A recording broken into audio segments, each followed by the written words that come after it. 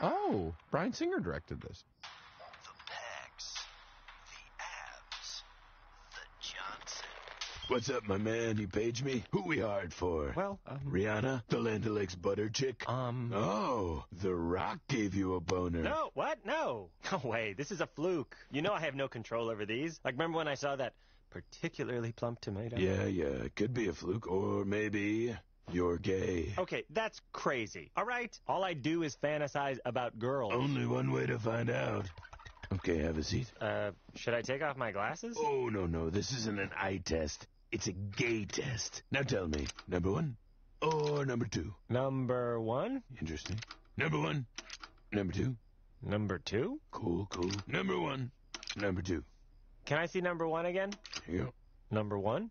Interesting. Okay, number one or number two? Oh my god. number two, right? Maybe I am gay? Okay, all right. That's good to know. Wait, well, don't write this down. Are you filling out a form? No, I'm just drawing a picture of a unicorn. Oh, You have a sweet side. Butt fucking Mr. Clean.